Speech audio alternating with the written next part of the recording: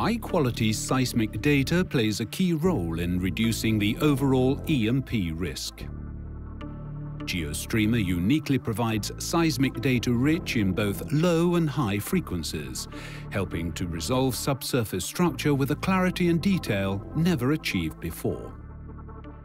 Adding high-frequency information to the recorded seismic signal reduces the dominant wavelength, leading to finer vertical resolution of the associated seismic image.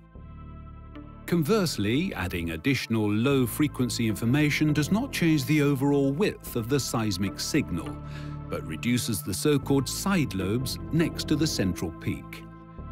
This reduces artifacts and leads to cleaner event separation. GeoStreamer technology enables the recording of both extra high and low frequency information.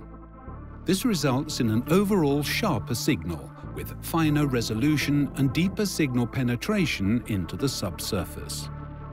In a very common geological setting, the reservoir sand is overlaid by a layer of soft shale.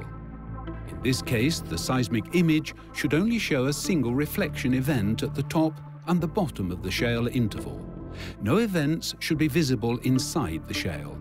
GeoStreamer broadband data meets these requirements. Whereas band-limited conventional data suffers from false reflections caused by side lobes. These images of band-limited conventional seismic illustrate the problem.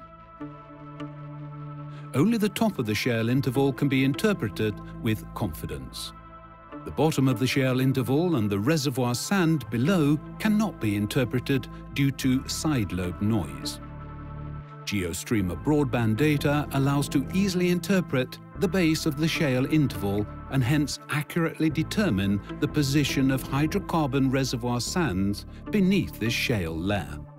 Acoustic impedance attributes computed from GeoStreamer data show an excellent match between the position and thickness of the reservoir sands and the independent information extracted from borehole measurements. When it comes to confident reservoir interpretation and delineation, GeoStreamer seismic should clearly be the input data of choice.